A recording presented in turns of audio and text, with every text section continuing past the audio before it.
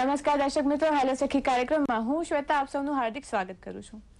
આપણે સૌ જાણીએ છીએ તેમ આપણે હજી થોડા દિવસ પહેલા જ મહિલા દિવસની ઉજવણી કરી અને આ દિવસની ઉજવણી પછી રાજ્યસભામાં મહિલા અનામતનો ખરડો પસાર કરવામાં આવ્યો. આઝાદીના ત્રેસઠ વર્ષ પછી પણ આ સ્થિતિ જોઈને એવું લાગે છે કે ભારતમાં મહિલાઓની સ્થિતિમાં થોડોક સુધારો થયો છે. પરંતુ હકીકત એ છે કે આજની તારીખમાં પણ દર વર્ષે ચાર કરોડ મહિલાઓ અપૂરતી તબીબી સારવાર, કુપોષણ અને ભ્રૂણ હત્યાના કારણે મરણને શરણ થાય છે. એક સર્વે મુજબ, હજાર પુરુષોએ સ્ત્રીઓની સંખ્યા ફક્ત નવસો પંદર જ છે. માતા, પત્ની, દીકરી તરીકેની ફરજો અદા કરતી સ્ત્રી માટે આ સ્થિતિ અત્યંત દયાજનક છે. તો સમાજનું આટલું મોટું સામાજિક અસંતુલન તો આપણે સુધારવું જ રહ્યું. લોકોમાં અને સમાજમાં પ્રવર્તી દીકરીઓ પ્રત્યેની અંધશ્રદ્ધા અને કન્યા ભ્રૂણ હત્યાની પ્રથાને કેવી રીતે રોકવી એના વિશે આજે આપણે ચર્ચા કરીશું. આ કન્યા ભ્રૂણ હત્યા પાછળના જવાબદાર પરિબળો અને તેને બચાવવા માટેના ઉપાયો વિશે આજે આપણે ચર્ચા કરીશું. તો આ વિષય પર આપણને માર્ગદર્શન આપવા અને આપણા બધાના પ્રશ્નોનું સમાધાન કરવા માટે આપણી પાસે સ્ટુડિયોમાં મહેમાનો ઉપસ્થિત છે. આજે આપણી પાસે ઉપસ્થિત છે માલતીબેન મહેતા, કે જેઓ મીડિયા પ્રોફેશનલ છે ને તેઓ નિર્માત્રી છે, અને ડોક્ટર વિદુલા મુકેશ બાવીશી, કે જેઓ એક ખૂબ જ સુભગ સમન્વય ધરાવે છે, કે જેઓ પોતે ગાયનેકોલોજીસ્ટ છે. અને એ સિવાય તેમણે એલએલએમ એટલે કે ક્રિમિનલ લોમાં એલએલએમ કર્યું છે. આ બંનેનું હેલો સખી કાર્યક્રમમાં ખૂબ જ સ્વાગત કરું છું. આપણે સૌ આજે જાણીએ છીએ કે બેટી બચાવો સેવ ધ ગર્લ ચાઇલ્ડ કે આજે દુનિયામાં અને દરેક દેશોમાં આજે એની ખૂબ જ સરાહના થઈ રહી છે. કારણ કે આપણે જેમ હમણાં જ વાત કરીને આજે આપણે દરેક ન્યૂઝપેપરમાં અને બધે વાંચતા હોઈએ છીએ કે પુરુષોની સરખામણીમાં સ્ત્રીઓનું પ્રમાણ ઘટવા લાગ્યું છે. અને હજુ પણ લોકોના મનમાં એક માન્યતા એવી પ્રવર્તિત છે કે દીકરાઓ સારા છે, દીકરીઓ એટલી સારી નથી. તો માલતીબેન, આજે આપણે જ્યારે વાત કરી રહ્યા છીએ સેવ ધ ગર્લ ચાઇલ્ડની તો અત્યારે ભ્રૂણ હત્યાના કિસ્સાઓ હજુ પણ એટલા જ પ્રમાણમાં પ્રવર્તી રહ્યા છે. તો આ લોકોના મનમાં દીકરા અને દીકરી પ્રત્યેનો જે ભેદભાવ ઊભો થયો છે, તે શા કારણે ઊભો થયો છે? શ્વેતાબેન, એમાં એવું છે કે આ પ્રશ્ન વીસ વર્ષ પહેલા પણ આટલો જ તરોતાજા હતો. જી. આજે પણ આજે એકવીસમી સદીમાં આપણે પ્રવેશી ચૂક્યા એક દાયકો વીતી ગયો. જી. અને છતાં પણ આજે આ પ્રશ્નની આપણે ચર્ચા કરીએ છીએ એનાથી મોટી કરુણા કઈ હોઈ શકે. બિલકુલ. કદાચ આપણા સંસ્કૃતિમાં સંસ્કારમાં ક્યાંક એવું એક માનસિકતા બંધાઈ ગઈ છે એના માટે સમાજ જ જવાબદાર છે. સ્ત્રીઓનું જે સ્થાન છે સમાજમાં એ હંમેશા પુરુષ પ્રધાન સમાજમાં સેકન્ડરી એટલે કે ગૌણ રહ્યું છે. જી. એ પછી જે પ્રકારની કુરિવાજો સમાજમાં આવ્યા એ દહેજ પ્રથા હોય એ વિધવા થયા પછીના પ્રશ્નો હોય બાળકીને જે પ્રકારના હેલ્થના ઇસ્યુઝ છે એની સામેના જે એના જે પ્રશ્નો હેલ્થને લગતા છે એ અંગેની જે માન્યતાઓ છે એ બધું સરવાળે જમા થતા થતા એવા પ્રશ્નો ઊભા થયા કે આપણને એવું લાગ્યું કે બાળકી એ બોજરૂપ છે. અને એના માટે સૌથી મોટું જે જવાબદાર પરિબળ હોય તો એ મા બાપ પોતે કારણ કે એ પોતે જો માનસિકતા બદલાવશે તો એકવીસમી સદીમાં આજે આપણે જ્યારે ઓલરેડી પ્રવેશી ચૂક્યા છીએ અને જેને નોલેજની સદી કહીએ છીએ આપણા દેશ જેટલો કદાચ આ મુદ્દો બીજા કોઈ દેશોમાં નથી જી, એવું કહેવાય પણ આવે છે કે બીજા દેશોની સરખામણીમાં ભારતમાં સ્ત્રી અને પુરુષોની સરખામણીમાં સ્ત્રીઓનું પ્રમાણ ઘણું ઓછું છે. બીજા દેશોની સરખામણીમાં બીજા દેશોની સરખામણીની વાત કરીએ ચોક્કસ એ તો કદાચ આપણે એના આંકડાઓ જોઈએ એટલે વધારે વિગતે વાત કરીશું. પરંતુ જે જેન્ડર પર્સપેક્ટિવ છેલ્લા કેટલાય સમયથી કારણ કે સરકારશ્રી પણ સતત પ્રયત્નો કર્યા છે. અનેક સંસ્થાઓએ પ્રયત્ન કર્યો છે. ઘણી સ્વૈચ્છિક સંસ્થાઓએ તો એને પોતાનો એક એક લક્ષ્ય લઈને ચાલે છે એના ઉપર. અને છતાં પણ આજે આટલી બધી ભ્રૂણ હત્યામાં ખાસ કરીને બાળકીઓને જી.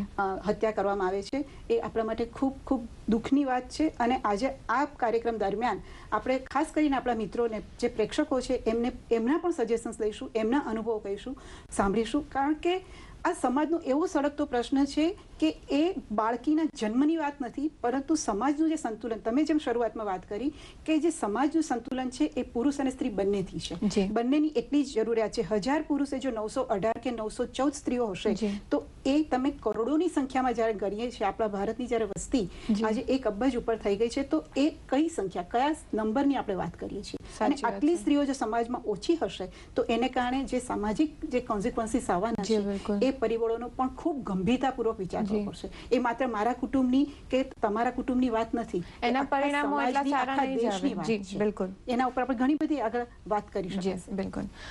વિદુલાબેન આપ એક ગાયનેકોલોજીસ્ટ છો અને સાથે સાથે આપ કાયદાનું પણ એટલું ધ્યાન ધરાવો છો. તો આજે જ્યારે આપણે વાત કરી રહ્યા છે ગર્લ ચાઇલ્ડની તો તમે ગાયનેકોલોજીસ્ટ તમારી પાસે આવા પેશન્ટો આવતા જ હશે. તો આજના જે માતા પિતા છે કે એ પછી ગામડાના હોય કે પછી શહેરના હોય તો એ લોકોના મંતવ્યો આજે દીકરાને દીકરીમાં કેટલો ફરા- ફરક એ લોકો મહેસૂસ કરે છે? શ્વેતાબેન આજનું જે ઈરા છે એ ટેકનોલોજીનો ઈરા છે. અને હવે અવેરનેસ ઘણી બધી વધી ગઈ છે પણ તે છતાં જેમ કે પહેલાના જમાનામાં જ્યારે ટેકનોલોજી નથી. ત્યારે ઇન્ફન્ટિસાઇડ થતું થતું. મતલબ કે જ્યારે બાળકી જન્મે અને એક વર્ષની થાય ત્યાં સુધીમાં એ બાળકીને દૂધ પીતી કરવામાં આવે પોઈઝન આપવામાં આવે એને ગળે ટૂંપો દઈને દબાવી દેવામાં આવે. અને એની એ લોકોને સરળતા એટલે પડતી કે એમાં એમને મેડિકલ પ્રેક્ટિશનરની જરૂર નહોતી પડતી. હવે ફિમેલ ફિટિસાઇડ છે એમાં એ લોકોને મેડિકલ પ્રેક્ટિશનરની જરૂર પડે છે. પણ એની અંદર એમને અંદરથી ગિલ્ટ નથી રહેતું. કારણ કે બાળકીને મરતી એ લોકો જોતા નથી. જી. બાળક જ્યારે માતાના પેટમાં જ છે ગર્ભમાં જ છે ત્યારે જ એનું મૃત્યુ કરી દેવામાં આવે છે. મારી સાથે જે પેશન્ટ્સ આવે છે ઘણા બધા પેશન્ટ્સ એવા છે કે જે ઈચ્છે છે કે એક દીકરી છે હવે બીજી દીકરી ન થાય તો સારું. મોસ્ટ ઓફ ધ કેસીસમાં એવું હોય છે કે એક દીકરી હોય અને પછી બીજી દીકરી ન થાય એવું વિચારવા વાળા વધારે હોય છે. બાકી જે રૂરલ એરિયામાંથી આવતા પેશન્ટોમાં હજુ પણ પહેલા જેવી માન્યતા થોડી ઘણી તો પ્રવર્તે છે જ. હું અહીં એક વાત વચ્ચે ઉમેરવા માંગીશ. માલતીબેન તમારો હું જ મંતવ્ય હું જરૂરથી લઈશ. આપણી પાસે એક કોલમ મિત્ર જોડાયા છે જે પોતાનો પ્રશ્ન પૂછવા માંગે છે. સોમસીભાઈ વાઘેલા ગાંધીનગરથી. સોમસીભાઈ તમારું હેલો સખી કાર્યક્રમમાં સ્વાગત છે. આપનો પ્રશ્ન જણાવો. હા હું ગાંધીનગરથી સુનજી વાઘેલા બોલું છું. પરણે બહેનોને મારા ઘણા ઘણા ઘણા નમસ્કાર. જી. મારે માલતીબેન મહેતાને એ પૂછવું છે કે જે આ દહેજ પ્રથા છે, જો એ દહેજ પ્રથા બંધ થાય તો જે આ બેટી બચાવવાનું જે અભિયાન છે બહુ સારું ચાલે. તો દહેજ પ્રથા નાબૂદ કરવા માટે કઈ કાયદાકીય મોટી જોગવાઈ થઈ શકે? કઈ મોટા એવા દસ કે પંદર વર્ષ આજીવન જેલ થાય, કોઈ દહેજ માંગે? તો એ જો કાયદો થાય તો આ બેટી બચાવવાનું અભિયાન બહુ સારું ચાલે. તો એના વિશે આપ કઈ પ્રકાશ પાડી શકશો બેનજી? સોમજીભાઈ, આપનો પ્રશ્ન ખૂબ આવકારદાયક એટલા માટે છે કે આપે દહેજ પ્રથા સામેનો પ્રશ્ન ઊભો કર્યો છે. આપ જાણતા છો કે કાયદાકીય દ્રષ્ટિએ આ બધા જ કાયદાઓ અત્યારે ઉપસ્થિત છે આપણી પાસે ઉપલબ્ધ છે. આપણે એનો ઉપયોગ કરવાનો છે. આજે જે કંઈ દહેજ લે છે એ કુટુંબને અને ઘણા બધા એવા કેસીસ આપણે છાપાઓમાં પણ વાંચીએ છીએ કે દીકરીએ પોતે પોતાના સાસરિયાઓનો વિરોધ કરી લગ્ન મંડપમાંથી ઊભી થઈ ગઈ અને સાસરિયાઓને સજા કરાવી. તો આપ પણ એ લીગલી જે કંઈ કાયદાઓ છે, કદાચ હું કાયદાની અથવા તો ધારાશાસ્ત્રી ન હોવાથી આપને તાત્કાલિક એ કાયદાનું નથી આપી શકતી, પરંતુ આ બધા જ કાયદાઓ આપણી પાસે છે, પોલીસમાં પણ આ ફરિયાદ કરી શકો છો, તાત્કાલિક એના માટે એક્શન લઈ શકાય છે. પરંતુ આ જાગૃતિ લાવવી ખૂબ જરૂરી છે કે સૌથી પહેલાં તો આપણે દહેજ પ્રથા નાબૂદ કરવી છે એવું નક્કી કરીએ. એ જો સંકલ્પ કરીશું તો પછી જે કાયદાઓ છે એને આપણે અમલ પણ કરાવી શકીશું. એટલે એના માટે મદદ કરવા માટે જ્યુડિશરી પણ છે, પોલીસ પણ છે અને આ કાયદાઓ પણ છે. તો આપનો જે આ પ્રશ્ન છે, એને માટે ચોક્કસ ખૂબ સારી રીતે આપણે કામ કરી શકીએ. અને એ પણ સામૂહિક રીતે કામ કરવાની જરૂર છે. એકલ દોકલ કરશે તો કદાચ એને ક્યાંક એટલી સફળતા નથી મળતી, નિરાશા મળે છે અને એને કારણે એ ક્યાંક પાછી પડે છે વ્યક્તિ. એને બદલે જો સમાજમાં અને ખાસ કરીને અમુક કમ્યુનિટીમાં આ અમારે રિવાજ છે જ, એ જે વાત કરીને આપણે ચાલીએ છીએ, ત્યારે કદાચ એ માનસિકતા અને આપ એક પુરુષ થઈને આ પ્રશ્ન પૂછ્યો, ત્યારે મને ખૂબ આનંદ એ વાતનો થાય છે કે જે પ્રકારની જાગૃતતા આપણે આ મીડિયા થકી, ખાસ કરીને દૂરદર્શનના માધ્યમ થકી જે લાવવા માગીએ છીએ, એ આપણે ઘણે અંશે સફળ થઈ રહ્યા છીએ. હવે માત્ર આપણે સૌએ સાથે મળીને એ કાયદાનો અમલ અસરકારક રીતે થાય એ માટે જ પ્રયત્નો કરવાના છે. અને કદાચ આપણી સાથે વિદુલાબેન છે જે કાયદા પણ શાસ્ત્રી કાયદાનો અભ્યાસ જેમણે કર્યો છે એ આપને કદાચ વધારે માહિતી આપી શકશે. ડાઉરી ડેથ એ બહુ જ ઇમ્પોર્ટન્ટ છે. આ તમારો બહુ જ ઇમ્પોર્ટન્ટ પ્રશ્ન છે. દરેક સ્ત્રી આ વસ્તુનો સામનો કરતી હોય છે. એવું કહેવાય છે કે મેરેજ લાઈફના સેવન યર્સ સુધીમાં સાત વર્ષ સુધીમાં કોઈ પણ અનયુઝ્યુઅલ ડેથ થાય, અને જો એમાં એવું કહેવામાં આવે કે દહેજની માંગણી કરી હતી, તો દહેજની માંગણી કરવા વાળા માટે ખૂબ મોટી જેલની સજા છે સાત વર્ષથી દસ વર્ષ સુધીની. પણ આમાં તમે જે કહી રહ્યા છો તે પ્રમાણે ફરિયાદ કરવાની ખૂબ જરૂરી છે, જ્યાં લોકો અટકી જાય છે. ડાઉરી ડેથ અનયુઝ્યુઅલ ડેથ થયું હોય અને મેરેજ લાઈફ જો સેવન યર્સની હોય or less then seven years તો that is considered as a dowry death so અને અત્યારે હું એ કહેવા માંગુ છું કે અમે આટલા બધા વિદેશ પ્રવાસ કરેલા છે જેમાં લગ્ન કેવી રીતે થાય છે? વીસ કે પચીસ જણાની હાજરીમાં. અને એમાં જે મને અહીંયા માફ કરશો આપણી પાસે બીજા એક કોલમ મિત્ર છે એ પણ કદાચ આ વિષય પર જ પ્રશ્ન પૂછવા માંગતા છે તો એમને પણ એમનું માર્ગદર્શન મળી જશે. પ્રેમજીભાઈ જુનાગઢથી. પ્રેમજીભાઈ તમારો હેલો સખી કાર્યક્રમમાં નમસ્તે સ્વાગત છે. જી નમસ્તે. રીપુ કીર્તિ પ્રેમજીભાઈ માકડીયા બોલું છું. જી. હવે આપણે સ્ત્રી ભ્રૂણ હત્યા રોકવી હોય તો સમાજમાં અંદર જાગૃતતા કઈ રીતે લાવી શકાય? અને ખાસ કરીને ગામડાના લોકોને જાગૃત કરવા હોય તો શું કરવું પડે એમ? જી બિલકુલ. અને આ ભ્રૂણ હત્યા માટે ખરેખર તો સ્ત્રી જ જવાબદાર છે વધારે. કારણ કે એ જ વધારે દીકરાની લાલચ એને જ વધારે હોય છે. એટલે જો એનામાં જાગૃતતા વધુ આવે ને તો એના માટે હું પ્રયાસ કરવા જોઈએ અમારે. જી બિલકુલ. પ્રેમજીભાઈ આપની સાથે આ પ્રશ્ન ઉપર વાત કરવી એટલા માટે ગમશે કે આપના કુટુંબની મહિલાઓ એ કઈ રીતે ક્યાંથી માહિતી મેળવે છે? એ આપના થકી મેળવે છે? એ કોઈ છાપું વાંચે છે? ટેલિવિઝન જુએ છે? કે એમના પોતાના જ જે સખી મંડળો છે કે એમની આસપાસની જે બહેનો છે એની પાસેથી માહિતી મળે છે? કારણ કે જાગૃતતા ક્યાંથી આવે? જો આપ જાગૃત હશે તો આપના કુટુંબની મહિલાઓ ચોક્કસ જાગૃત હશે. કારણ કે એ બહુ જ જરૂરી છે કે કુટુંબની જે વ્યક્તિ છે એ આ બાબત લઈ આવે છે. તો સૌથી પહેલી જવાબદારી તમારી થશે. પછી આ જાગૃતતા ફેલાવવા માટેના અનેક પ્રયત્નો અનેક સંસ્થાઓ દ્વારા, ઘણી બધી સ્વૈચ્છિક સંસ્થાઓ દ્વારા પણ થઈ રહ્યા છે. આપના વિસ્તારમાં કઈ સ્વૈચ્છિક સંસ્થા છે એ માહિતી આપણે મેળવી જોઈએ. એ સિવાય છાપાઓમાં સતત આવી છે આજકાલ તો જે છાપાઓમાં ખાસ કરીને સોનોગ્રાફી કરતા જે ડોક્ટર્સ ઉપર જે પ્રકારની તવાઈ કાયદાકીય રીતે આવી રહી છે, એ માહિતી પણ આપને મદદરૂપ થઈ શકે. આપણે બીજી વાત કરી કે સ્ત્રી જવાબદાર છે. સ્ત્રી શા માટે જવાબદાર છે? એના ઉપર કયા પ્રકારના જે પ્રકારના તનાવ અથવા તો જે પ્રકારનો એના ઉપર દુરાગ્રહો સેવાઈ રહ્યા છે કે તું એક દીકરાની માં હોય તો જ તારું જીવન સફળ, એ એ વસ્તુ કોણ લાવ્યું? એ સ્ત્રી પોતે લાવી? આપણે એક એવું કહીને ઊભા રહીએ છીએ કે સ્ત્રીને જ પોતાને આગ્રહ હોય છે, પોતાને દીકરાની. તો એ સમાજમાં આપણે એવું એનું સ્થાન ઊભું કરી દીધું છે કે દીકરીની માં હોય એનું મહત્વ ઓછું હોય સમાજમાં. એથી કદાચ એને એવી અપેક્ષા રહે છે કે દીકરાની માં બને. તો સૌ ફરીને એ જ વાત આવે છે કે સમાજમાં આ પ્રકારના જે માન્યતાઓ અને જે માનસિકતા છે એ બદલાવા માટે આપણે સૌએ કામ કરવું પડશે. એ પુરુષ પણ હોઈ શકે સ્ત્રી પણ હોઈ શકે. જી. જી વિદુલાબેન આપણે જે પહેલા તમે વાત કરી રહ્યા હતા કે ડોવરી અનયુઝ્યુઅલ ડેટ કે જે દહેજ પ્રથાના કારણે સ્ત્રીનું મૃત્યુ થાય છે. તો એમાં પણ આ એક સ્ત્રી ભ્રૂણ હત્યા પણ એને સંલગ્ન જ છે? કે એ વખતે જ્યારે દહેજની વાત થાય છે ત્યારે ઘણીવાર એવું પણ થતું હોય છે કે સ્ત્રીને છોકરી જન્મી છે જેના કારણે એને દરેક તરફથી દબાવ થતો હોય છે. તો આ બાબતે આપ શું કહેશો? કોઈ પણ સ્ત્રીને ક્યારેય કોઈ ફોર્સ કરી શકે નહીં. ભારત દેશના બંધારણ પ્રમાણે દરેક સ્ત્રીને પોતાનો હક છે ડિસાઈડ કરવાનો કે મારા પેટમાં રહેલું બાળક એને મારે જીવંત રાખવું કે ન રાખવું. જે પણ વ્યક્તિ, એ એનો પતિ હોય, એનો દિયર હોય, એના સસરા હોય કે એના સાસુ હોય, જો એને ફોર્સફુલી નિદાન પદ્ધતિ માટે લઈ જાય કે એની ભ્રૂણ હત્યા કરવા માટે લઈ જાય, તો એ બધાને પનિશમેન્ટ થઈ શકે કાયદાકીય દ્રષ્ટિએ. સ્ત્રી ક્યારેય એવું ઈચ્છતી જ નથી, એના પેટમાં રહેલું બાળક તો એનો જીવ છે. સ્ત્રી ક્યારેય કોઈ બાળકને દીકરો કે દીકરી એવું હોતું જ નથી એના મનમાં. એવું મારું માનવું છે, એ મારો અભિપ્રાય છે. એટલે જે લોકો આવી નિદાન પદ્ધતિ માટે લઈ જાય, તે લોકો પણ પનિશમેન્ટને લાયક છે. અને જે ડોક્ટર પાસે આ નિદાન પદ્ધતિ માટે જાય, એ ડોક્ટર જો આ નિદાન કરે, તો એ ડોક્ટર એના માટે એવું હોય છે કે ફર્સ્ટ ટાઈમ જો ક્રાઇમ કરે, તો એને ત્રણ વર્ષની જેલની સજા અને દસ હજાર રૂપિયાનો દંડ. એ જ ક્રાઇમ ફરીથી કરે અથવા એ જ ગુનો ફરીથી કરે, તો પાંચ વર્ષની જેલની સજા અને પચાસ હજાર રૂપિયાનો દંડ. અને તે ઉપરાંત સ્ટેટ મેડિકલ કાઉન્સિલ અને મેડિકલ કાઉન્સિલ ઓફ ઇન્ડિયા એનું રજિસ્ટ્રેશન ટેમ્પરરી અથવા પરમેનન્ટ સસ્પેન્ડ કરી શકે. છે વેદુલાબેન અહીંયા મારે એક સવાલ એ પૂછ્યો છે કે આપ એમ કહું કે દહેજ પ્રથાને કારણે જે મૃત્યુ પામે સ્ત્રી ત્યારે એને એક્શન પણ દહેજ લેતી વખતે જ એની સામે એવો કોઈ કાયદો છે કે જે દહેજ લઈ જ ન શકે?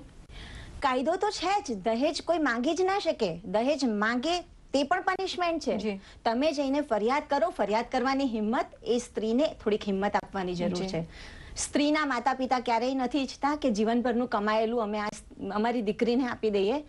પણ એટલી એમનામાં હિંમત હોવી જોઈએ ફરિયાદ કરવાની કે આ લોકો દહેજ માંગી રહ્યા છે. That again is a punishable act જી બિલકુલ. જે જે પણ દહેજ માંગતું હોય એ પનિશમેન્ટને લાયક છે. જી બિલકુલ.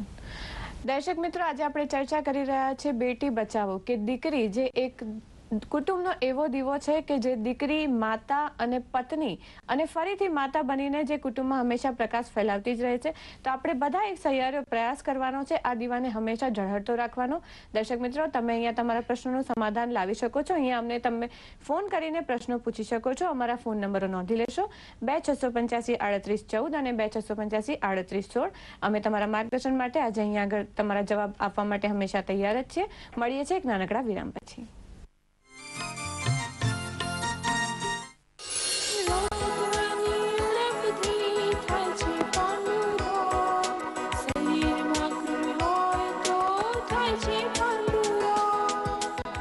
નીચેના પોપચા અંદર ફિક્કાશ નખમાં ફિક્કાશ જીભ પર ફિક્કાશ એ પાંડુ રોગના લક્ષણ છે અવારનવાર માંદી પડતી થાક અનુભવતી ગર્ભવતી સ્ત્રીઓ ઝડપથી થાકી જતી તરુણીઓ અને નાના બાળક પાંડુ રોગ થવાની સંભાવના ધરાવતા જૂથમાં આવી શકે.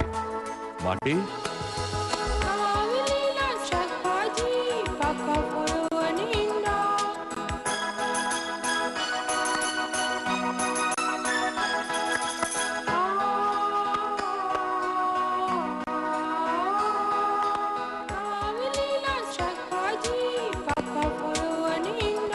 લો તત્વની ઉણપ અટકાવો પાંડુ રોગને દૂર ભગાવો. ગુજરાત રાજ્ય આરોગ્ય અને પરિવાર કલ્યાણ વિભાગ દ્વારા જનહિતમાં જારી. રામજીભાઈ કેમ છે તમારી ભેંસની તબિયત? નથી સારું. હજી ગર્ભ ધારણ કરતી નથી. તો આમ બેઠા શું છો? ચાલો તેને લઈ અને આરોગ્ય મેળાના આપણા ગામના કેમ્પમાં. મારી શંકર ગાયને લાલ પેશાબ થાય છે. એટલે હું પણ તેને લઈને જવાનો છું ને દવા કરાવવા. પણ પૈસા અરે પૈસા ક્યાં આપવાના જ છે? બરાબર છે. ગુજરાત સરકારના પશુપાલન ખાતા દ્વારા તારીખ છ મે થી ચાર જૂન બે હજાર બાર દરમિયાન પશુ આરોગ્ય મેળાનું આયોજન કૃષિ મહોત્સવ સાથે કરવામાં આવેલું છે. પશુ આરોગ્ય મેળા અભિયાન બે હજાર બાર અંતર્ગત રાજ્યમાં દરેક ગ્રામીણ વિસ્તારમાં ચાર હજાર ત્રણસો સત્તાણું જેટલા પશુ આરોગ્ય મેળા યોજાનાર છે, જ્યાં વિવિધ રોગોના નિષ્ણાત ડોક્ટરો દ્વારા પશુ રોગ નિદાન અને પશુ સારવાર, નાના મોટા ઓપરેશન બંધત્વ નિવારણ સારવાર, કૃત્રિમ બીજદાન, રસીકરણ અને ખસીકરણ જેવી પશુ આરોગ્ય સેવાઓ ગામ બેઠા આપવામાં આવશે અને તે પણ તદ્દન વિના મૂલ્યે તેમજ પશુ પ્રદર્શન અને પશુપાલન વ્યવસાય અંગે માર્ગદર્શન પણ આપવામાં આવશે. આવો અબોલ પશુ જીવોના આરોગ્ય માટે પશુ આરોગ્ય મેળામાં પધારો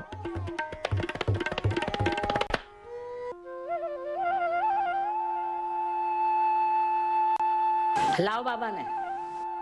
હવે થોડું એને ખવડાવી લઉં. ખવડાવતા પહેલા તમે સાબુથી હાથ ધોયા છે? સાબુથી હાથ ધોવાની શું જરૂર છે? જો મારા હાથ તો સાફ જ છે. ના. નરી આંખે ના દેખાય તેવા, પરંતુ બાળકને જોખમી સૂક્ષ્મ જંતુઓ હાથ પર હોઈ શકે છે.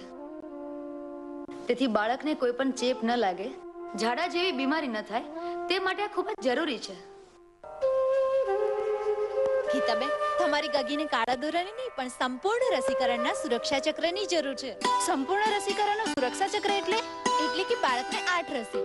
જન્મ્યા બાદ તુરંત બીસીજીની રસી અપાવો પોલિયો ત્રિગુણી રસીનો પ્રથમ ડોઝ દોઢ માસે, બીજો ડોઝ અઢી માસે, ત્રીજો ડોઝ સાડા ત્રણ માસે અચૂક અપાવો પોલિયો ત્રિગુણી રસીનો એક પણ ડોઝ મૂકવાનું ચૂકશો તો બાળકને રોગો સામે રક્ષણ મળશે ઓરીની રસી નવ માસે અચૂક અપાવશો સંપૂર્ણ રસીકરણનું સુરક્ષા ચક્ર અપાવો તમારા બાળકને જીવલેણ રોગોથી બચાવો. ફરી એકવાર આપ સૌનું હેલો સખી કાર્યક્રમમાં સ્વાગત છે. આપણે આજે ચર્ચા કરી રહ્યા છીએ બેટી બચાવો કે જે કુટુંબનો એક ઝળહળતો દીવો છે અને આપણે એને હંમેશા કેવી રીતે પ્રગટાવતો રાખી શકીએ.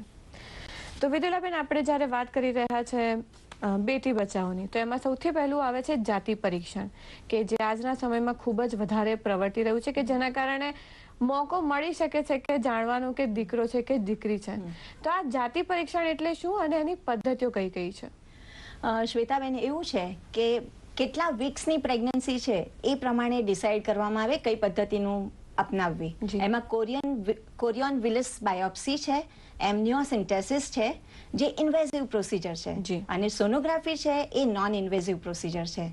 એટલે sonography is in vogue and is mushrooming because it's a non invasive procedure અને એને ફાસ્ટ નિદાન થઈ શકે છે.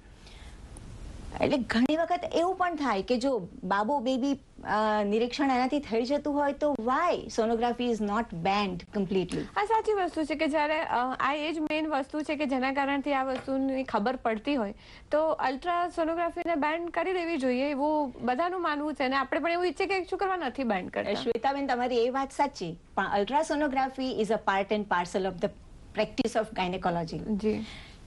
નાની નાની કોઈ પણ ગાયનેકોલોજીસ્ટને તમે પૂછો તો અલ્ટ્રાસોનોગ્રાફીના પેશન્ટને જે ફાયદા છે અને ડૉક્ટરને જે ફાયદા છે એવા બીજી કોઈ ઇન્વેસ્ટિગેટિવ પદ્ધતિના નથી. જેમ કે કોઈ પેશન્ટ મારી પાસે ફર્સ્ટ થ્રી મંથ્સની પ્રેગ્નન્સી સાથે આવે અને હું એને એક્ઝામિન કરું અને એને અલ્ટ્રાસોનોગ્રાફી કરાવું તો એને ટ્વિન્સ હોય એને ટ્યુબમાં પ્રેગ્નન્સી હોય એને વિઝિક્યુલર મોલ હોય જો બચ્ચાનું હાર્ટ બંધ થઈ ગયું હોય તો એ સામાન્ય ક્લિનિકલ એક્ઝામિનેશનથી ના ખબર પડે. એ તમને સોનોગ્રાફીમાં ઇમિડિયેટ એનું નિદાન થઈ શકે. તે ઉપરાંત બાળકનો વિકાસ બરાબર થઈ રહ્યો છે કે નહીં એનામાં પાણીનું પ્રમાણ જે લાઇકરનું પ્રમાણ બરાબર છે કે નહીં the connection between the mother and baby જે ન્યુટ્રિશન સપ્લાય બરાબર છે કે નહીં. સો આટલા બધા ફાયદા હોય and there is one misuse and that's why Shwetaben you know this act PNDT act is prohibitory and regulatory act prohibitory prohibition of the sex determination and regulation and prevention of misuse of the technique બિલકુલ so that is what the pndt act is all about જ્યારે 1994 માં આ act બનાવ્યો 1996 માં એને implement કરવામાં આવ્યો અને ત્યારબાદ ટુ થાઉઝન્ડમાં જ્યારે centre for inquiry of health and allied themes and Mahila Utkarsh committee અને ડૉક્ટર શબુ જ્યોર્જ એ લોકોએ આર્ટિકલ થર્ટી ટુ પ્રમાણે સુપ્રીમ કોર્ટમાં એક પિટિશન ફાઇલ કરી જેમાં સુપ્રીમ કોર્ટે એનું જજમેન્ટ આપ્યું અને સેન્ટ્રલ ગવર્મેન્ટ અને સ્ટેટ ગવર્મેન્ટને ડિરેક્શન્સ આપી કે તમે એવી એડવાઇઝરી કમિટી બનાવો કે જેના કારણે મોર અવેરનેસ ગેટ્સ જનરેટેડ વધારે લોકો અવેર થાય જાગૃત થાય. ભ્રૂણ હત્યા માટે નિદાન પદ્ધતિ કઈ કઈ છે તેના માટે અને તે ઉપરાંત જે લોકો આ ખોટું કામ કરી રહ્યા છે આ એક્ટનો મિસયુઝ કરી રહ્યા છે તે લોકોને આપણે પનિશ પણ કરી શકીએ. સો પીએનડીટી એક્ટ જે ટુ થાઉઝન્ડ પછી ઇમ્પ્લિમેન્ટ કરવામાં આવ્યો દેટ્સ મોર ઇફેક્ટિવ અને મોર એક્ટિવ જી બિલકુલ. જી માલતીબેન આ જ્યારે પ્રોહિબિટેડ એક્ટની વાત આવી રહી છે તો એની પાછળ પહેલાં તો પ્રશ્ન એ આવે છે કે આનો મૂળ ક્યાંથી ઉદ્ભવ્યું છે? આપણો જે સમાજ છે ત્યાંથી એનું મૂળ ઉદ્ભવ્યું છે. તો મુખ્યત્વે સામાજિક પરિબળો કયા કયા છે? કે જે જાતિ પરીક્ષણ માટે મહિલાઓને ધકેલતા હોય છે? આપણે શરૂઆતમાં પણ વાત કરી. કે આપણા સમાજમાં જે પ્રકારના એટલે મનુના સમયથી જે પ્રકારના ભારતીય સમાજની જે કલ્પના થઈ જેમાં પુરુષોને પ્રાધાન્ય આપવામાં આવ્યું. દરેકની ચોક્કસ ભૂમિકા એટલે કે સ્ત્રી એટલે એણે આ ભૂમિકા ભજવવાની છે. એનું ગૌણ સ્થાન છે એ ડિપેન્ડન્ટ છે એ આર્થિક રીતે પગભર ન હોવાને કારણે એને એના કુટુંબના જે પુરુષ જે કમાય છે એની આવક ઉપર આધાર રાખવાનું છે.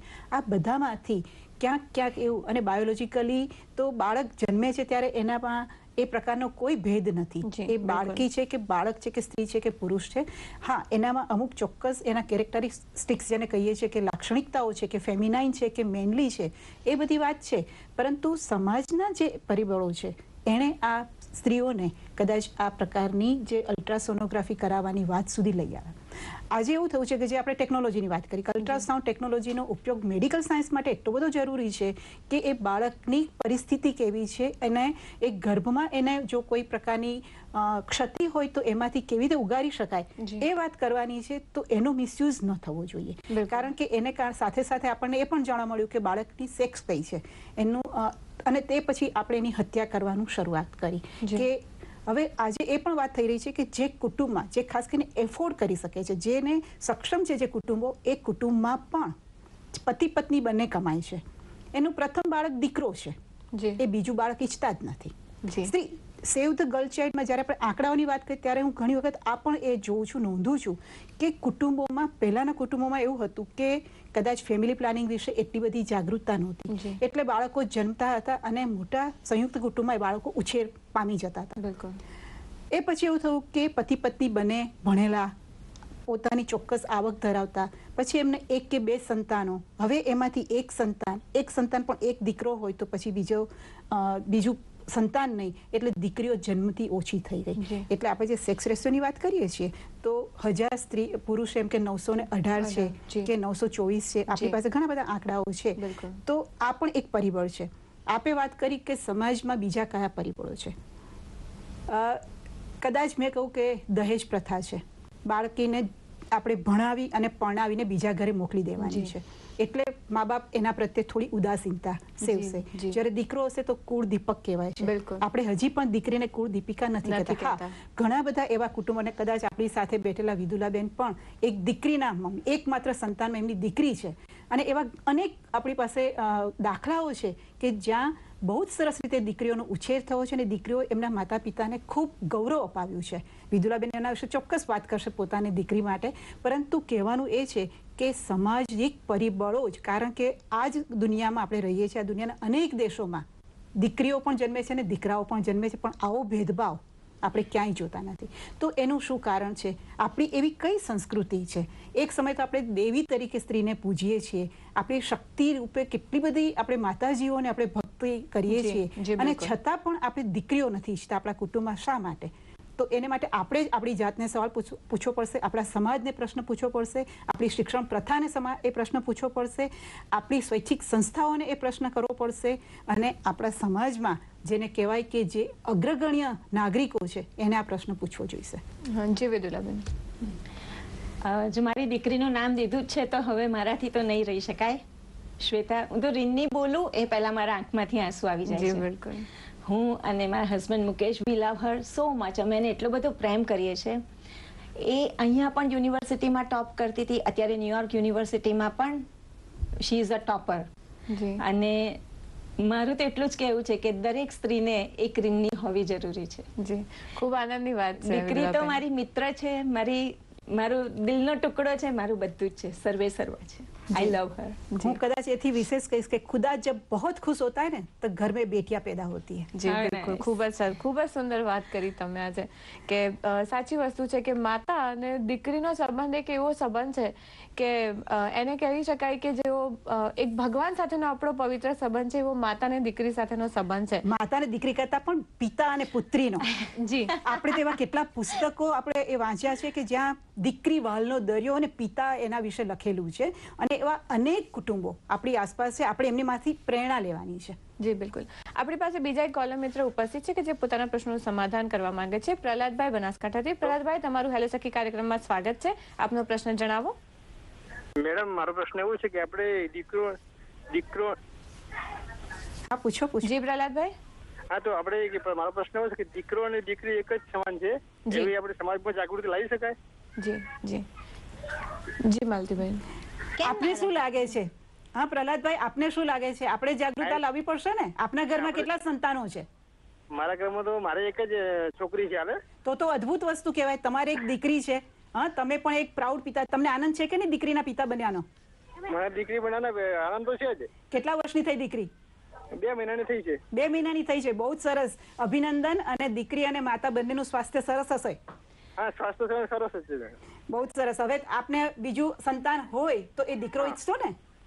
હું તો દીકરો બરાબર છે. દીકરી દીકરો હોય ને કુટુંબ પૂરું આપણું પૂર્ણ કહેવાય. ચાર જણનું સરસ સંયુક્ત કુટુંબ કહેવાય આપણું. હા હા. બે મેડમ સમાજ પર તો જાગૃતિ લાવી શકાય આપ આપ ચોક્કસ લાવી શકો અને આપ પણ કહી શકો તમે દીકરીના પિતા બન્યા છો અને દીકરી જન્મવાથી આપના કુટુંબમાં કેટલો આનંદ છે એના વિશે વાત તમે તમારા મિત્રોમાં કરો તમારા સગાઓમાં કરો તો એ દ્વારા પણ આપણે જાગૃતતા ફેલાવી શકાય એમ કહેવાય. જી વિદુલાબેન આપ કંઈ કહેવા ચાહો છો? મારી કહેવાનું કંઈક બીજું જ હતું કે દીકરો દીકરી પદ્ધતિ કેમ આટલી બધી વોગમાં આવી?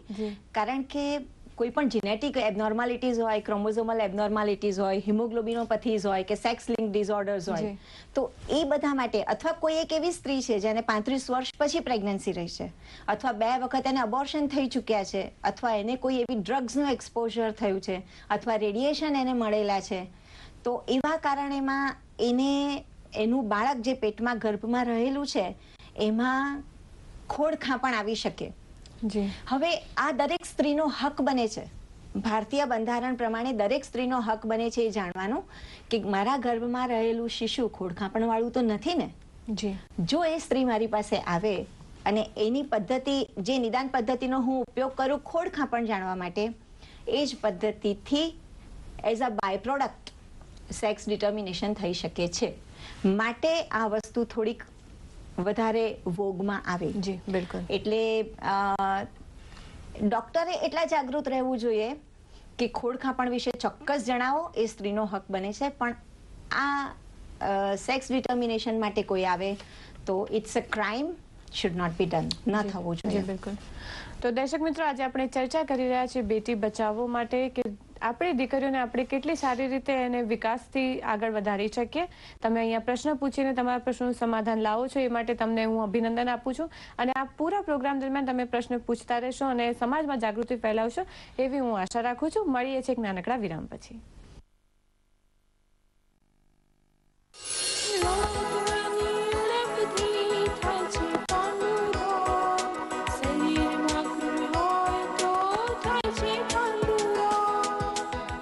નીચેના પોપચા અંદર ફિક્કાશ, નખમાં ફિક્કાશ, જીભ પર ફિક્કાશ એ પાંડુ રોગના લક્ષણ છે.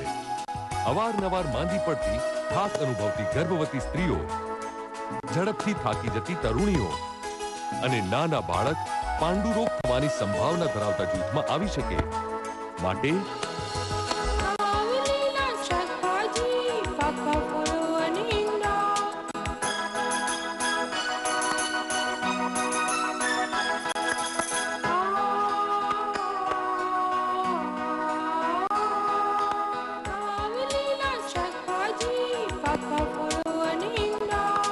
તત્વની ઉણપ અટકાવો, પાંડુ રોગને દૂર ભગાવો. ગુજરાત રાજ્ય આરોગ્ય અને પરિવાર કલ્યાણ વિભાગ દ્વારા જનહિતમાં જારી. આ ગરમીએ તો ત્રાસ કર્યો. હું તો અકળાઈ ગયો. તું? હા, કેમ નહીં? ગરમીના કારણે પશુઓમાં તણાવ પેદા થાય છે. જેથી એમની પાચન શક્તિ અને દૂધ ઉત્પાદનમાં ઘટાડો થાય છે. ઉનાળાની ઋતુમાં પશુઓની યોગ્ય સાર સંભાળ રાખવા માટે પશુઓના રહેઠાણની લંબાઈની દિશા પૂર્વ પશ્ચિમ હોવી જોઈએ. શેડની આજુબાજુ ઘાસ, નાના છોડ તેમજ ઝાડપાન વાવીને ગરમીની અસર ઘટાડી શકાય. રાત્રિના સમયે પશુઓને વાડામાં ખુલ્લા રાખવા જોઈએ. ભેંસ તથા શંકર ગાયના શરીર ઉપર બપોરના સમયે બેથી ત્રણ વાર ઠંડુ પાણી છાંટવું. અથવા કુવારો ફીટ કરી પાણીનો છંટકાવ કરી શકાય. તથા તળાવમાં જલવિહાર પણ કરાવી શકાય. મોટા ડેરી ફાર્મમાં પંખા, પડદા, કોથળા વગેરેનો ઉપયોગ કરી ઠંડક આપી શકાય. ઠંડુ અને સ્વચ્છ પાણી પૂરતા પ્રમાણમાં. આપવું. અને પશુને જ્યારે ઈચ્છા થાય ત્યારે પાણી પી શકે એવી વ્યવસ્થા કરવી. ખોરાકમાં લીલા ઘાસચારાનું પ્રમાણ વધારવું. ઘાસચારાનું નિરણ ટુકડે ટુકડે કરવું અને ઠંડા સમયમાં ખોરાક આપવો. ઉનાળામાં તમારી જેમ પશુઓ માટે પણ જરૂરી છે ઠંડક સમજ્યા આ વધુ માહિતી માટે નજીકની પશુપાલન કચેરીનો સંપર્ક કરો. ગીતાબેન તમારી ગગીને કાળા દોરાની નહીં પણ સંપૂર્ણ રસીકરણના સુરક્ષા ચક્રની જરૂર છે. સંપૂર્ણ રસીકરણનું સુરક્ષા ચક્ર એટલે? એટલે કે બાળકને આઠ રસી. જન્મ્યા બાદ તુરંત બીસીજીની રસી આપો. પોલિયો ત્રિકોણી રસીનો પ્રથમ ડોઝ દોઢ માસે બીજો ડોઝ અઢી માસે ત્રીજો ડોઝ સાડા ત્રણ માસે અચૂક અપાવો. પોલિયો ત્રિકોણી રસીનો એક પણ ડોઝ મૂકવાનું ચૂકશો તો બાળકને રોગો સામે રક્ષણ મળશે. નહીં ઓરીની રસી નવ માસે અચૂક અપાવશો સંપૂર્ણ રસીકરણનું સુરક્ષા ચક્ર અપાવો તમારા બાળકને જીવલેણ રોગોથી બચાવો.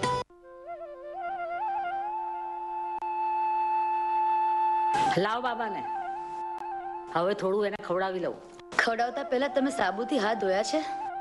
સાબુથી હાથ ધોવાની શું જરૂર છે? જો, મારા હાથ તો સાફ જ છે. ના, નરી આંખે ના દેખાય તેવા, પરંતુ બાળકને જોખમી સૂક્ષ્મ જંતુઓ હાથ પર હોઈ શકે છે. તેથી બાળકને કોઈ પણ ચેપ ન લાગે. ઝાડા જેવી બીમારી ન થાય. તે માટે આ ખૂબ જ જરૂરી છે.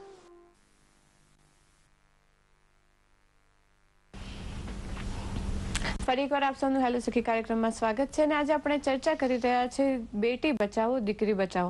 તમારી જે સખીઓ જે આ તમે આ પ્રોગ્રામ જોઈ રહી છો તે આ તમારા માટેનો પ્રશ્ન છે, આ તમારા માટેનો પ્રોગ્રામ છે. તો હું આશા રાખું છું કે તમને અગર કોઈ મુશ્કેલી પ્રવર્તી હોય તો તમે અહીંયા અમને ફોન કરીને તમારા પ્રશ્નોનું સમાધાન લાવી શકો છો. અમારા ફોન નંબરો તો તમારી પાસે હશે છતાં પણ હું ફરી એકવાર કહી દઉં છું, બે છસો પંચ્યાસી આડત્રીસ ચૌદ અને બે છસો પંચ્યાસી આડત્રીસ સો. વિદુલાબેન જ્યારે જાતિ પરીક્ષણની આપણે વાત કરી રહ્યા હતા, તો સૌથી પહેલો તો પ્રશ્ન એ આવે છે, અને જે હંમેશા એનો જવાબ સમાજ પાસે છે જ, પણ છતાં પણ સમાજ એને અવગણી રહ્યો છે કદાચ.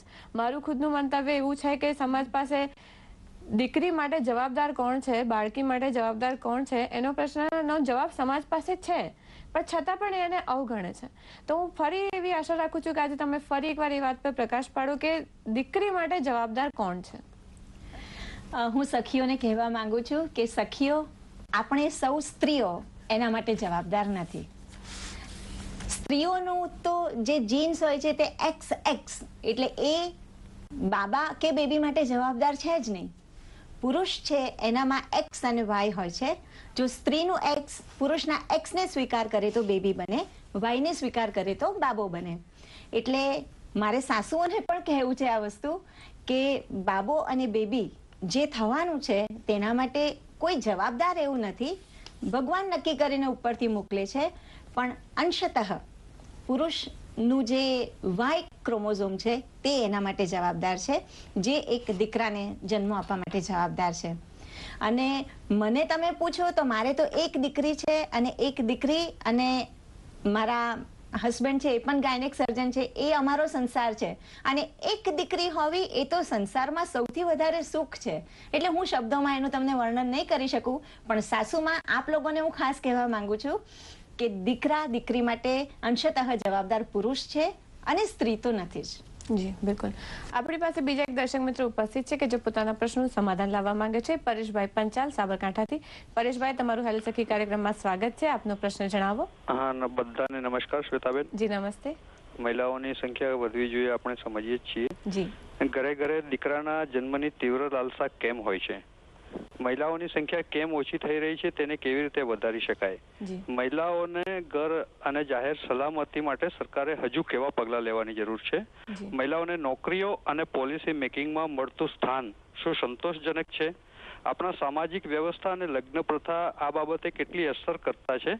અને ફિલ્મો અને ટીવી જાહેર ખબરો વગેરેમાં જે મહિલાની ભૂમિકા છે, એ એ અંશે એ બાબતે શું કહેવું છે? અને છેલ્લે હું કહીશ કે મહિલાઓને ખરેખર સશક્ત બનવા માટે એક જરૂર છે કે તેમણે સૌથી પહેલાં શારીરિક રીતે સશક્ત થવાની જરૂર છે કે જ્યારે મહિલાનું ક્યાંય પણ શોષણ થતું હોય તો બે ચાર મહિલાઓએ ભેગી થઈ અને એને, અને એમની શક્તિનો પરિચય કરાવશે. ત્યારે જ આ પુરુષ પ્રધાન સમાજને સ્ત્રી પ્રધાન સમાજમાં જો બદલવામાં આવશે, સ્ત્રીઓ દ્વારા જ તો શું કેવું પરિવર્તન આવી શકે?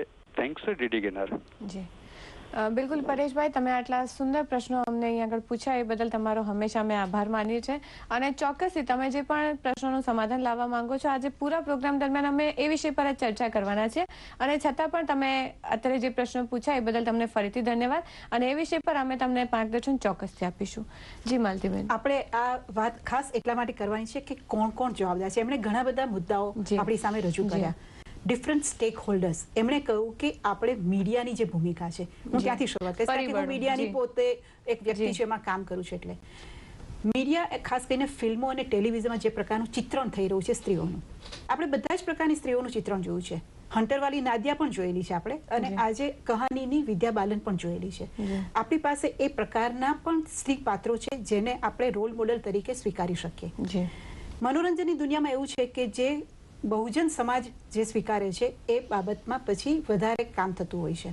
ટેલિવિઝન સિરિયલમાં આજકાલ કદાચ એક એક પ્રકારનું કોઈક ષડયંત્ર ચાલે છે કે જ્યાં સ્ત્રીને સ્ત્રીની દુશ્મન બતાવવામાં આવે છે. આ ખોટું છે અને એનો વિરોધ સ્ત્રી સંસ્થાઓએ ખાસ કરવાની જરૂર છે. એ જ રીતે એ સ્ત્રી સંસ્થાઓએ સાથે મળી, સ્ત્રી સંસ્થાઓ શા માટે? સ્વૈચ્છિક સંસ્થાઓએ સાથે મળીને એવા ડૉક્ટર્સના ક્લિનિક ઉપર પણ પહેલાં દબાણ કરવું જોઈએ એને એસેટિવલી એમને કન્વિન્સ કરવા જોઈએ અને ન કરે તો તમે જે વાત કરી, પરેશભાઈ, એ શક્તિનો પરિચય પણ આપવો પડે. આપણે બહુ સાચું કહું કે દીકરીઓની સલામતી માટે પણ મા બાપોને ચિંતા હોય છે. કારણ કે જ્યાં સુધી આપણું કાયદાનું શાસન જેટલું અસરકારક હશે, એની સલામતીનો પ્રશ્ન નહીં હોય, એના પર કોઈ અત્યાચાર નહીં થાય, તો કદાચ મા બાપને દીકરી આવકારવી ગમશે. બહુ સાચી વાત છે. તો આપણે જે કુટુંબોમાં દીકરી છે, એને આપણે શારીરિક રીતે પણ સક્ષમ બનાવીએ. એને એવા પ્રકારની તાલીમ આપીએ, પહેલાં તો માનસિક રીતે એને મનોબળ આનું મજબૂત કરીએ કે તું દીકરી છું, તું કોઈથી ઉતરતી નથી. આ વાત જો એના મનમાં પહેલેથી ઠસાવીશું, તો એ સૌથી પહેલાં એનામાં કોન્ફિડન્સ આવશે. પછી એને આપણે શિક્ષિત કરીશું. શિક્ષણનો કોઈ પર્યાય ન હોઈ શકે. શિક્ષણથી ઘણી બધી, અને આપણે તો ઘણી બધી કહેવતોમાં સાંભળ્યું છે કે એક માતા ભણેલી હોય તો સો શિક્ષકની ગરજ સારે છે, તો આપણે દીકરીઓને ભણાવીશું. એ ભણતી થશે, પછી એને આવકના સાધનો, આજે આર્થિક રીતે જો થોડી નિર્ભર થશે તો કદાચ એને, એનામાં જે પ્રકારની આત્મવિશ્વાસ આવશે અથવા તો પોતે પોતાનું આજીવિકા રળી શકે છે એવી એનામાં સક્ષમતા ઊભી કરી, કરવાની એનામાં એ પોતાની હિંમત એ પ્રકારની આવશે. તો જે શક્તિની વાત કરી, શારીરિક કે કરાટે શીખવીએ અથવા તો એને શારીરિક રીતે એટલી મજબૂત કરીએ કે દરેક અત્યાચારનો સામનો કરી શકે, એ વાત તો છે જ. પણ સૌથી પહેલાં તો એને પોતાની જાત ઉપર વિશ્વાસ ઊભો કરવો પડશે અને એ પછી એને આ સમાજના જે દુષ પરિણામો અથવા તો જે પ્રકારના જે પરિબળો એને વિરોધમાં છે, એનો એ સામનો કરી શકશે. તો પરેશભાઈ, આપે જે વાત કરી કે જે ડિફરન્ટ સ્ટેક હોલ્ડર્સ છે, આ સમસ્યાને લઈને એક કુટુંબથી શરૂ કરીને શિક્ષણ પ્રથા, આજે શિક્ષણમાં પણ બાળકીઓને કે બાળકને શાળામાં જે પુસ્તકો ટેક્સ્ટબુક એમાં કેવા પ્રકારનું ચિત્રણ છે? ઘણા વર્ષોથી એ વાત જોવામાં આવી છે કે બાળકને અને બાલિકાઓની ભૂમિકા ચોક્કસ. બાળકીઓ તો રસોડામાં જ હોય. ઇવન પતંગ ચડાવતો હશે તો દીકરો હશે એના હાથમાં, પતંગ હશે ને દીકરીના હાથમાં ફિરકી હશે. શા માટે? આજે દીકરીઓ પણ એટલી જ સરસ પતંગ ઉડાવી શકે છે. આપણે ત્યાંથી શરૂઆત કરીએ. તો એવા ઘણા બધા આપણે દાખલાઓ અંદર શિક્ષણમાં પણ નવું ચિત્રણ આપણે કરી શકીએ છીએ. વિદ્યાબેન આજે જે પરેશભાઈએ પ્રશ્ન પૂછ્યો. એ જ સંલગ્નમાં હું તમને પૂછવા ચાહીશ કે આ જે સામાજિક પરિબળો છે અને એમાં જે દીકરીઓ વિશે બધી અન- અંધશ્રદ્ધાઓ માન્યતાઓ પ્રવર્તે છે એમાં ગુજરાત કયા સ્થાને છે? ગુજરાત માટે તો એવું છે બે વસ્તુ કહેવા માંગુ છું કે બે હજારની સાલમાં જ્યારે સોનોગ્રાફી મશીન્સ ખરીદવામાં આવેલા ને ત્યારે આઠસો ને તેતાળીસ મશીન્સ વેચાયેલા અને માત્ર ચારસો ને ચોર્યાસી રજીસ્ટ્રેશન થયેલા. જી. એટલે તમે જે પરેશભાઈના સંદર્ભમાં હું પહેલા વાત કરી લઉં જે મને થોડીક અધૂરપ રહી છે. પરેશભાઈ મારે એવું કેવું છે કે તમે ટેલિવિઝન જુઓ, તમે ફિલ્મ જુઓ, એની અંદર જે સ્ત્રીનો રોલ જુઓ, એને એન્ટરટેનમેન્ટ તરીકે લો. એક સાક્ષી ભાવે જુઓ. એ એન્જોયમેન્ટ માટે છે. બાકી રિયાલિટીમાં તમે જુઓ તો ખરેખર એમાં જેટલી બતાવે એવી સ્ત્રી હોતી નથી. અને ખરેખર જેટલું માનીએ, જો પુરુષ તમારા જેવા સમજદાર હોય, તો સ્ત્રીને ખરેખર ઘણી બધી મુશ્કેલીઓ ઓછી થઈ જાય. એટલે સ્ત્રી ઉપર એટલું બધું કંઈ જોર જુલામ કરવામાં આવતું નથી. સ્ત્રીનો ઇમોશનલ કોશન છે એ પુરુષ કરતાં ઘણો જ વધારે છે. સ્ત્રીની જે ફિઝિયોલોજીકલ ચેન્જીસ એના બોડીમાં થાય છે, જેમ કે એ એડોલસ, એડોલસન્ટ બને છે, એનામાં મેન્સ્ટ્રુએશન થાય છે, એને પ્રેગ્નન્સી રહે છે, એ બાળકને જન્મ આપે છે, એ તો એક સુંદર વસ્તુ છે. એ એટલી બધી એક્સપાન્ડેડ ફીલ કરે છે, એટલું બધું રિચનેસ એનામાં આવે છે. પ્રેગ્નન્સી બાળકને જન્મ આપવો એ તો કોઈ પુરુષ નથી કરી શકતું ક્યારે એ તો આપ પણ જાણો છો. તો સ્ત્રીને તમે જે માનો છો, સ્ત્રી અબળા નથી, સ્ત્રી નબળી નથી. ઇમોશનલી ઘણી જ સુપિરિયર છે. અને તમે તમારી જોવાની દ્રષ્ટિને થોડીક ફેરફાર કરીને જુઓ.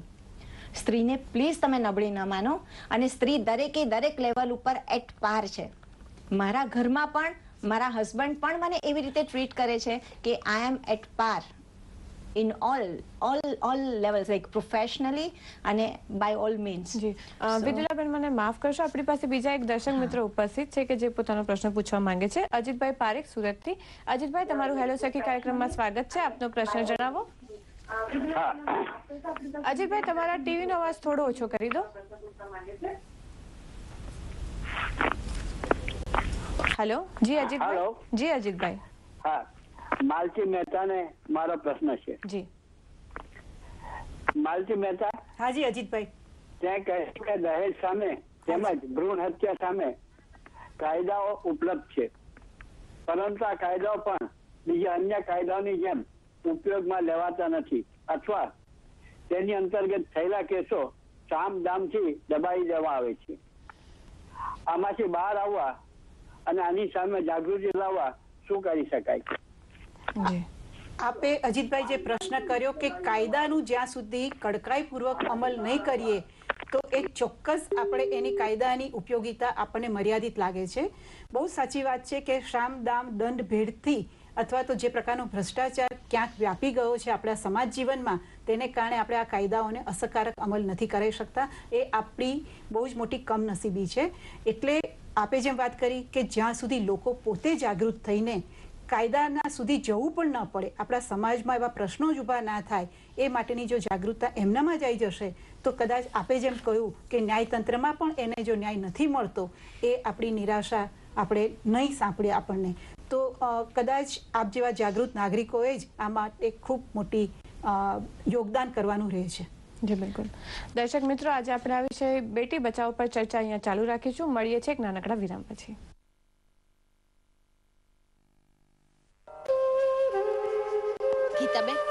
તમારી કાળા દોરાની નહીં, પણ સંપૂર્ણ રસીકરણના સુરક્ષા ચક્રની જરૂર છે. સંપૂર્ણ રસીકરણનો સુરક્ષા ચક્ર એટલે એટલે કે બાળકને આઠ રસી. જન્મ્યા બાદ તુરંત બીસીજીની રસી અપાવો પોલિયો ત્રિગુણી રસીનો પ્રથમ ડોઝ દોઢ માસે, બીજો ડોઝ અઢી માસે, ત્રીજો ડોઝ સાડા ત્રણ માસે અચૂક અપાવો પોલિયો ત્રિગુણી રસીનો એક પણ ડોઝ મૂકવાનું ચૂકશો, તો બાળકને રોગો સામે રક્ષણ મળશે નહીં. ઓરીની માસે અચૂક અપાવશો સંપૂર્ણ રસીકરણનું સુરક્ષા ચક્ર તમારા બાળકને જીવલેણ રોગોથી બચાવો. અમારા ઢોરાનું દૂધ જલ્દીથી બગડીને ખાટું થઈ જાય છે. આનું હું કારણ? સ્વચ્છતાનો અભાવ તેમજ રોગિષ્ટ અને મારલું પ્રાણી આને માટે જવાબદાર છે. સ્વચ્છ દૂધ ઉત્પાદન માટે દૂધાળુ પશુ તંદુરસ્ત અને નિરોગી હોવું જોઈએ. પશુનું રહેઠાણ સ્વચ્છ અને છાયાવાળું હોવું જોઈએ.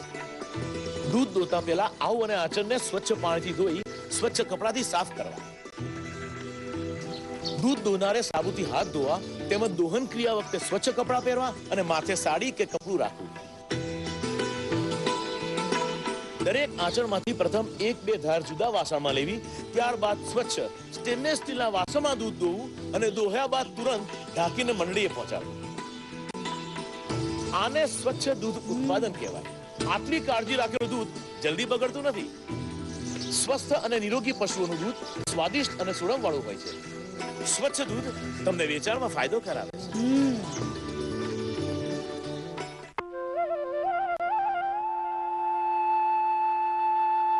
લાવ બાબાને. હવે થોડું એને ખવડાવી લઉં. ખવડાવતા પહેલા તમે સાબુથી હાથ ધોયા છે? સાબુથી હાથ ધોવાની શું જરૂર છે? જો મારા હાથ તો સાફ જ છે. ના નરી આંખે ના દેખાય તેવા પરંતુ બાળકને જોખમી સૂક્ષ્મ જંતુઓ હાથ પર હોઈ શકે છે. તેથી બાળકને કોઈ પણ ચેપ ન લાગે. ઝાડા જેવી બીમારી ન થાય. તે માટે આ ખૂબ જ જરૂરી છે. સાહેબ અમારા ઢોરા છે ચારો ખાવાને બદલે બગાડ બહુ કરે છે. આ બગાડને અટકાવવાનો કોઈ ઉપાય ખરો?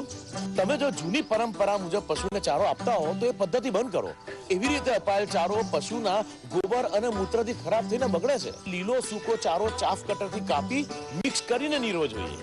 આ રીતે અટકાવાયેલો ચારાનો બગાડ દૂધની ઉત્પાદન કિંમતમાં નોંધપાત્ર ઘટાડો કરે છે. આ અંગેની વધુ જાણકારી મેળવવા નજીકની પશુ સારવાર સંસ્થાનો સંપર્ક કરો.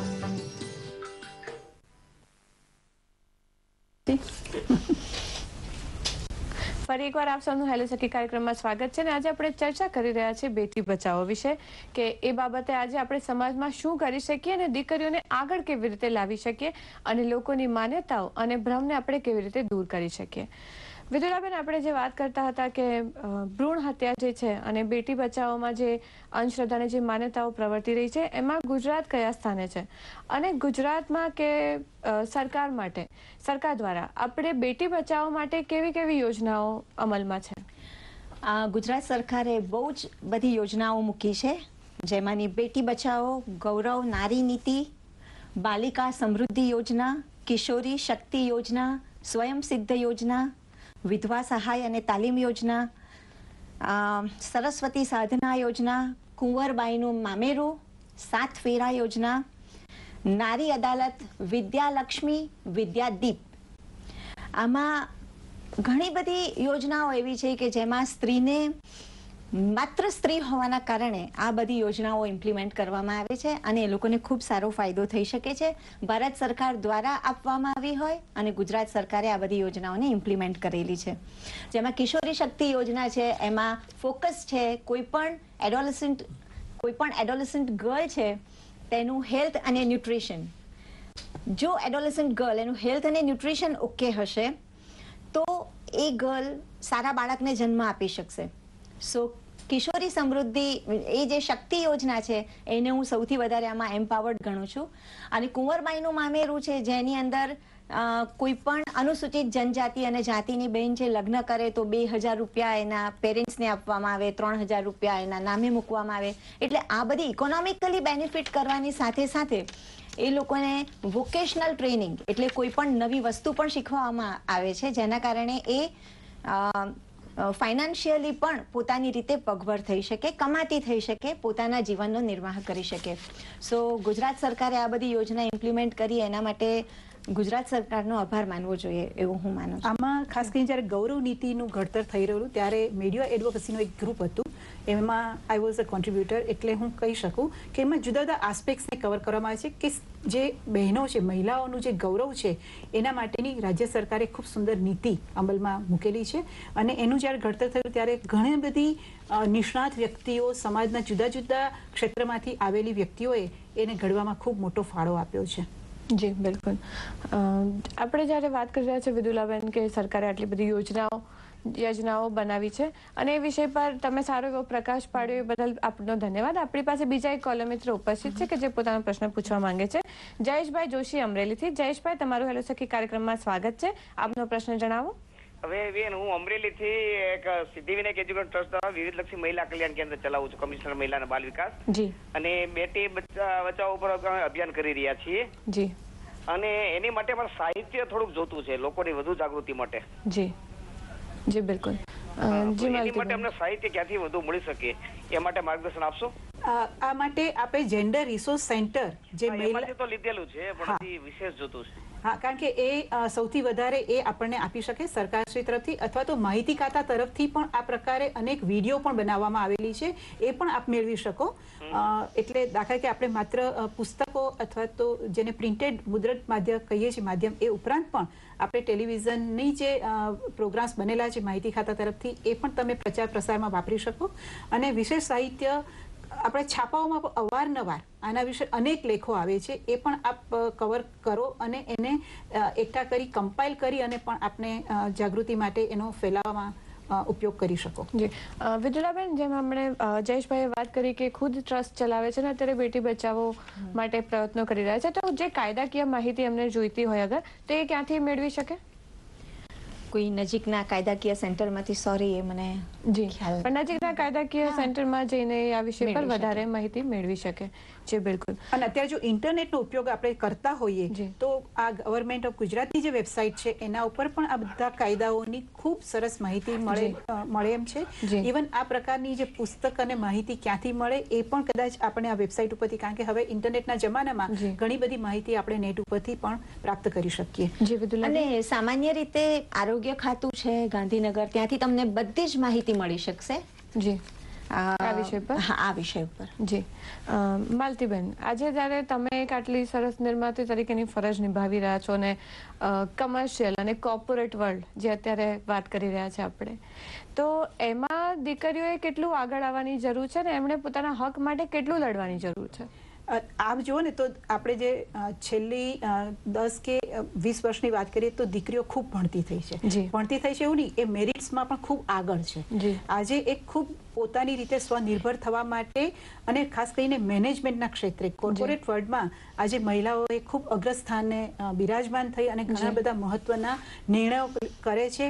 રોજબરોજની એની જે વહીવટ છે ખૂબ કુશળતાપૂર્વક છે. કંપનીની સીઈઓ પણ છે છે આપણી આસપાસ એવા અનેક રોલ મોડલ્સ છે. ઇવન આપણા જે આઈએસ અધિકારીઓ છે જે પણ કોમ્પિટિટિવ એક્ઝામમાંથી આવ્યા છે એઓ પણ ખૂબ સક્ષમતાથી કામ કરી રહ્યા છે. એ સિવાય જુદા જુદા ક્ષેત્રોમાં આજે એક પણ ક્ષેત્ર એવું નથી કે જ્યાં મહિલાઓએ પોતાનું કાઠું નથી બતાવ્યું. એટલે કે એ ખૂબ સરસ સ્થાને કામ કરી રહેલી છે. મીડિયામાં તો કદાચ એ ડોમિનેટ કરે છે. કારણ કે ક્રિએટિવિટી એમ કહેવાય છે કે મહિલાઓને જન્મદત્ત છે. એટલે કદાચ એ ફિલ્ડમાં એ વધારે સરસ રીતે કામ કરી રહી છે. એટલે મહિલાઓએ કોઈ સ્થળ- સ્થાને એ પાછળ નથી. કોર્પોરેટ વર્લ્ડમાં પણ ખૂબ આગળ છે. અને હજી ઘણી બધી એમાં પોસિબિલિટીઝ છે. પ્રશ્ન કદાચ એવું છે કે પોલિટિકલ પાર્ટિસિપેશન ખૂબ મર્યાદિત છે. આપણે જે તેત્રીસ ટકાનું ગ્રામ પંચાયતોમાં કે મ્યુનિસિપાલિટી કે વિધાનસભા સુધી આપણે તેત્રીસ ટકા રિઝર્વેશન મેળવ્યું જે હજી સંસદમાં લાવવાનું બાકી છે. પરંતુ political participation over the years જોઈએ તો દસ ટકાથી વધારે રહ્યું જ નથી. આજે આપણા દેશની આપણા રાષ્ટ્રપતિ આપણા લોકસભાના અધ્યક્ષ હોય, આપણા યુપીએના જે આજે મુખ્ય હોય, એ સૌ મહિલાઓ હોવા છતાં પણ અને અનેક સ્થાનોએ તે બિરાજતા હોવા છતાં પણ આજે પોલિટિકલ પાર્ટિસિપેશન જો વધશે, તો આપણે કદાચ એ જે પોલિસી ઘડતર થાય છે એમાં પણ આપણે કોન્ટ્રીબ્યુટ કરી શકીશું અને કદાચ વધારે અસરકારક રીતે આપણે મહિલાઓના પ્રશ્નોને વાચા આપી શકીશું. જી. આપણી પાસે બીજા એક કોલમ મિત્ર ઉપસ્થિત છે કે જે પોતાના પ્રશ્નનું સમાધાન કરવા માંગે છે? વિપુલભાઈ ભાવનગરથી. વિપુલભાઈ, આપનો પ્રશ્ન જણાવો. હાલો નમસ્કાર બેનજી. જી નમસ્તે. જી આપનો પ્રશ્ન જણાવો. જી નમસ્કાર બેનજી. જી. એ પ્રશ્ન એવો છે કે આપણે જે ગ્રામ વિસ્તારમાં ગામડામાં જે માહિતી આ બધી જે બેટી બચાવો વિશે કોઈ માહિતી નથી એટલી બધી. કારણ કે ત્યાં ટેલિવિઝન ઓછું માધ્યમ છે. અને એના હિસાબે આપણે કોઈ ગ્રામનું મંડળ બનાવી અને ગામડે ગામડે પસાર કરવું હોય તો એની માટે કોઈ સરકાર શ્રી તરફથી કોઈ સહાય કે કોઈ એવું કોઈ યોજના છે ખરી? જી બિલકુલ. જી વિપુલભાઈનો પ્રશ્ન એ છે કે મુખ્યત્વે કોઈ એવી યોજના બરાબર છે. દરેક ગામમાં ગ્રામ પંચાયત છે. ગ્રામ પંચાયત અને સરપંચ પાસે સરકારની તમામ યોજનાઓની માહિતી છે અને એ માહિતી અનુસાર આપ આપની ગ્રામ પંચાયતનો સંપર્ક કરો. ત્યાંથી પણ આ પ્રકારની જે કઈ યોજનાઓ છે, એના માટે જે નાણાં અપાયેલા છે, એ નાણાંનો આપણે ઉપયોગ કરી શકીએ. જી. દર્શક મિત્રો, આજે જ્યારે આપણે વાત કરી રહ્યા છીએ બેટી બચાવોનો, તો આ વિષય પર એક નાનકડો સંદેશ અમે તમને આપવા માંગીએ છીએ. તો હવે દીકરીઓને અંતરંગ જોઈ લઈએ એક નાનકડો સંદેશ. જોયું? આ જ હાલત છે દીકરીઓની સમાજમાં આપણા. જો દીકરી જન્મશે જ નહીં તો પુરુષોનું શું થશે? અરે દીકરીઓ તો ઈશ્વરે આપેલું એક નાજુક પ્રસાદી છે. એને તમે આમ રહેતી નાખશો? દીકરીને જન્મતા પહેલા જ મોતને ઘાટ ઉતારનારાઓને તો મૃત્યુદંડથી એક કપરી સજા થવી જોઈએ. પાણી બચાવો વીજળી બચાવો પર્યાવરણ બચાવો વાઘ બચાવો. અરે ભાઈ પેલા દીકરીને બચાવો. દીકરીને બચાવો. તે આગળ જઈ લતા મંગેશકર બની શકશે. સુનીતા વિલિયમ્સ ઇન્દિરા ગાંધી બની શકશે. દીકરો દીકરો સ્વર્ગનો દ્વાર બતાવે એવી સૌને આશા. જીવતા જીવને સ્વર્ગ બનાવે દીકરીને કેમ નિરાશા? ચાલો ચાલો આપણે સૌ ઊભા થઈએ. અરે આપણે સૌ ઊભા થઈએ. પ્લીઝ Please, આપણે સૌ ઊભા થઈએ. અને પ્રતિજ્ઞા લઈએ કે હવેથી હવેથી આપણે આપણે મનુષ્ય હોવાની ફરજ નિભાવીશું. મનુષ્ય હોવાની ફરજ નિભાવીશું. અને દીકરીને બચાવીશું. અને દીકરીને બચાવીશું.